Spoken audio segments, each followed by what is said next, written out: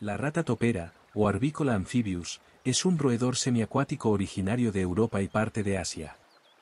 A pesar de su pequeño tamaño, desempeña un papel vital en su ecosistema. Son animales herbívoros y se alimentan de diversas plantas y hierbas, ayudan a dispersar semillas, lo que es importante para mantener la salud del ecosistema de la ribera.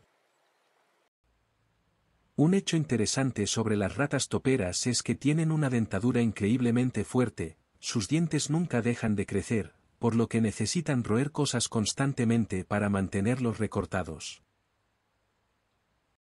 Son excelentes nadadoras, capaces de permanecer bajo el agua durante varios minutos gracias a sus patas traseras palmeadas y una cola aplanada lateralmente que le permiten moverse con facilidad en el agua.